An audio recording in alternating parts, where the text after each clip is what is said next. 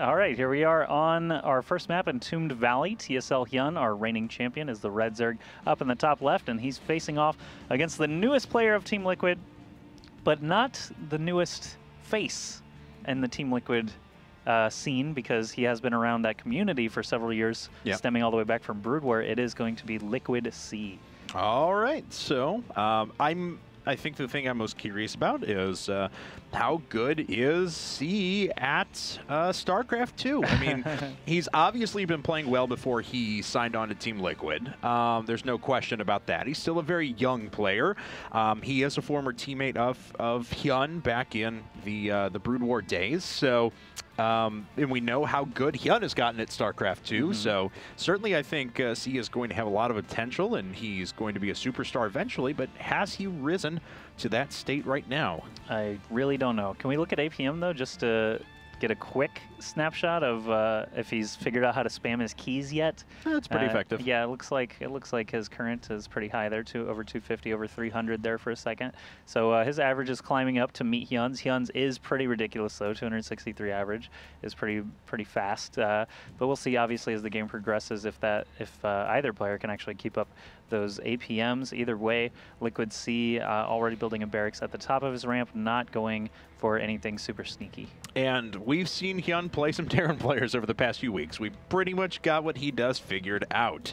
Um, Hatch first, of course, coming up. He sends out a very early drone scout to both disrupt and get an idea of what his opponent is doing because uh, Hyun has a pretty consistent build at the beginning. He's either going to opt for a very early roach rush, usually of some kind, or he's going to do the build that we've described in detail over the past, which is going to be pool and gas uh, coming up, and then moving into a six-minute third hatch, then going up to a, um, a roach warren, double evo chamber, Baneling nest, lair tech, and eventually just kind of push forward with uh, tier two uh, units. Okay, so Hyun is going to stick around just for a second to make sure no second depot is dropped at the top of the wall for just a second, but uh, obviously he's to back out of there before the Marine comes out and just kills the drone. SCV is scouting across now for Liquid Sea. He's going to find this uh, hatchery here at the natural, and then he'll go into the main to discover the pool is not quite finished yet. Uh, so I'm wondering if Sea is one of those uh, preparation players and if he actually went back and researched, because we do have uh, let's see, how many games now? 45 wins and like uh, 16 losses, Something or like that, 15 yeah. losses.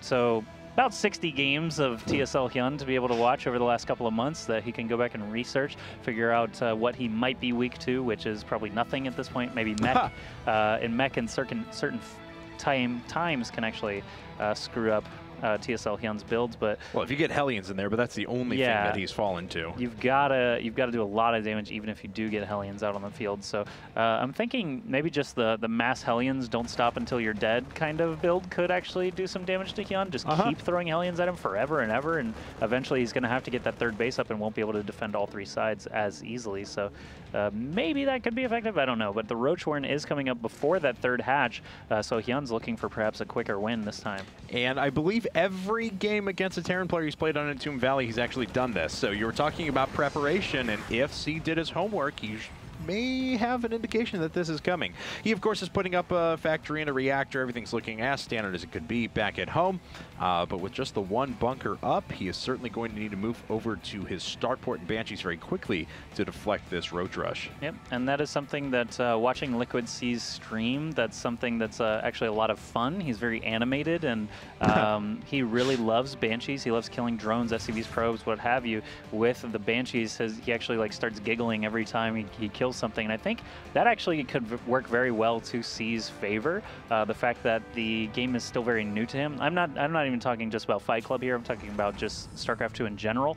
Uh, since the game is still very new to him and he's very excited to be able to learn things, he's already got that knowledge base of about two and a half years of other players doing things, figuring out what works and what doesn't, that he can start with. So he's starting with that great knowledge base and can still build off of that uh, and do some new things and, and just have fun uh, actually trying out a bunch of different builds where other players have kind of fallen into their routines, stuff like that. Maybe there's some stuff that they just never even want to try again uh, that they that could block them potentially from finding some some new strategies. But Hyun, uh, he's got a strategy that works pretty effectively right now. a lot of roaches approaching Sea, and Sea is just now adding on that tech lab, so there's and not even going to be a Banshee out. No, but he consciously made the decision to build a new tech lab and use the current one to start producing Marauders right now. He knew this was coming because his SCV did actually catch a glimpse of this, and the Marauders in pretty good position to start doing some damage. He's done an effective job at healing this up so far. He has lost a few workers, though, six as a matter of fact, and it looks like this is finally going to go down. The Roach numbers are starting to be whittled, though, and we do, no, no Banshees being created quite yet. He is just going to hold with hold position micro SCVs at the top of the ramp and a Marauder. Okay, so I'm trying to figure out, Hyun is actually focusing down just the Marines, then the Marauder, now the SCV, oh no, excuse me, now the Hellions, because they are still uh, those damage-dealing units, but Roaches do quite well against Hellions. Now they're inside the base. They've killed something like double-digit SCVs. Sea already down to 29 supply, and this last Hellion, uh, or the last two Hellions, excuse me, are still having a tough time finishing off these last two Roaches. Okay, it looks like this Roach is finally going to die. All told, 18 Yikes. workers have been killed, 30 supply to 54, and it's 20 workers to 38. However, Sea did produce a third command center during that whole process, so he has quite a few units still of, or I'm sorry, uh, quite the ability to reproduce workers, I guess I should say. Um, but, you know, this is a nice little advantage for Hyun. We'll see if he can deflect these Hellions running through the front. Yep, and other players have died to that attack before. And the fact that he's still standing is, is pretty admirable. Hyun uh, did not follow up with an endless stream of Lings like you may have seen in the past, but uh, instead did just continue macroing up. He didn't even add a third hatch, so uh, instead he's just going to prepare for Banshees. He did obviously see the starport with the Tech Lab while he was in there, so he's got a Spore Crawler coming up at, uh, at either base, at each base, excuse me, and the Lair coming up now. Still no third base, though, is kind of interesting as we're approaching the 10 minute mark. I don't think I've seen many games with Hyun that he didn't either just win or have a third base up by 10 minutes. And uh, so the important part, of course, is that Sea knows this. He's he's got an SCV yep. sitting outside here, so I was pointing out before. So he knows that there's no third base up and has a little bit of time now uh, to prepare. Hyun actually moving up to two base lair. He is sitting on four gas, no, three gas at the moment. I imagine he'll add on a fourth here in just a bit. Right, so it's kind of interesting that Hyun didn't follow up with a, an attempt to kill or a, an attempt to, to expand. Um, instead, I mean, he just very slowly started his lair up. He is still making a ton of drones, though, and a four Roach hit squad is coming back to try and kill even more SCVs. He's not worried about the damage dealing units of Sea. He just wants to kill more workers. He's focusing those SCVs, not the mules. Mules obviously have an expiration, but those SCVs will have to be uh, rebuilt and reinvested in. So uh, looks like the Banshee has arrived for Sea. He has not gotten any kills with it just yet, but it will kill a queen one-on-one. -on -one. uh, he does have a transfusion available. I'll be interested to see if he uses it. No, oh. he didn't. Okay. Interesting All misstep right. there from Hyun. Well, Hyun does kill the Banshee, though, for just the loss of one queen. He still has three queens available, which, of course, for the number of hatcheries that he has out, is not that big of a deal. Hyun has tact? No, he's done no such thing. He's on 1-1 upgrades uh, very shortly, and there finally is, is the infestation pit coming up. Um, this SCV does pick up, though, on exactly when this base is underway, so uh, he very well could move over there and try and assault that in a bit. Yeah, he could try to attack it. He could also send his own command center that he's had standing there for a while inside of his base. Now might be a good time to actually have it head over and start mining. Oh, look at that. Hyun uh, actually starting to poop creep at that third base uh, right as I said that. But uh, the first Banshee is coming up. Yeah, so he's going to be a little bit delayed even if he does want to go over there now. Uh, the next Banshee from Sea is actually flying toward that third base, being careful, trying to not fly over uh, the creep tumors to give Hyun vision, but it looks like Hyun is aware of it. Uh, Viking is out on the field now for Sea, trying to rack up some Overlord kills. No kills on it yet. This Overseer will most likely get taken out before it's able to see anything too vital. but plus two, plus two melee and armor coming up for Hyun. He just got Zergling speed finished. He's adding on two hatches at a time, so uh, that third base and a macro hatch. We've got a little bit of a Roach Hellion battle in the middle. Uh, still pretty active game on both sides. Yeah, and the Marauders uh, aren't trying to run away at the moment, and this is the Hyun we're used to seeing. Large amounts of Banelings being produced at this stage of the game, and he's going to try and assault this wall one more time. There's a bunch of Hellions that are already in position, though, and the front line of Lings was actually taken out very quickly, so Hyun has to rethink what he wants to do here. He's going to try and test the front again in a bit, but of course he did force uh, Stim at least out of these Marines. All right, so Hyun waiting probably for more Banelings. He's got 600 gas worth to be able to make more. Oh, five HP left on that Banshee with only two kills. Okay, so Baneling speed not going to be an issue here. He's just going to walk them in slowly and, oh, collide with all the Marines there. You probably should, yeah, just use it on that bunker with its uh, very few HP remaining. Siege Tank is up now, though, so any follow-up uh, probably won't have great odds of succeeding here. No, I don't think it's going to. And uh, Sea's done a pretty good job of splitting up his units and making sure that he doesn't take any splash damage from siege tanks, which I thought was really, really impressive. This Banshee's actually racked up five now, six kills in the air. So even though it's lost most of its health, it's still managed to do uh, quite a bit of damage. However, you can see the uh, the amount of workers killed there by Hyun, but it doesn't hasn't done too much to set back C. His infrastructure is pretty good. He's uh, finally got the third base landed as soon as he wants to, um, and you know, I mean, everything's looking pretty comfortable for him at the moment. Yeah, the fact actually is that Sea has passed Hyun in supply until just now, and eight infestors started producing at once. So uh, he's at least staying very close to him in supply. He's got that third base uh, operational now, it looks like, and lots of, yeah, he did finally land it, and a bunch of mules. Um, he's got a ton of lings just hanging out near the middle of the map, outside of that Xel'Naga vision.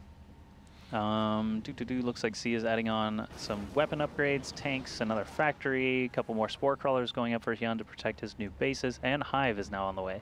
Okay, Sea going to make a drop off to the right-hand side uh, while he's patrolling around looking for overlords and moving through the middle of the map. So uh, doing quite a bit here. That was actually really well-timed Zergling because if that had just been the Banshee still there, uh, probably wouldn't have seen anything. But now Hyun can move back and start to prepare for an attack, which he is morphing in Banelings for.